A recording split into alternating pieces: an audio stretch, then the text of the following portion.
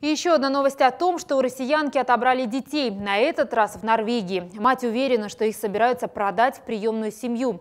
Дипломаты и правозащитники пытаются помочь россиянке, у которой социальные службы изъяли сразу троих дочерей. И опять по ничтожному поводу, а именно по доносу подруги старшей девочки о том, что в русской семье иногда шлепают младших детей. Не только приемная семья получает эти огромные деньги из государства. Смотрите, коммуна богатеет пропорционально количеству спасенных детей от родителей.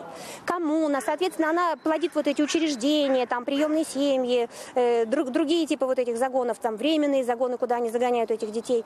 Э, и идет огромное перераспределение денежных средств. Детский омбудсмен Павел Астахов уже встретился с послом Норвегии в России и договорился о незамедлительном обжаловании действий норвежских социальных служб.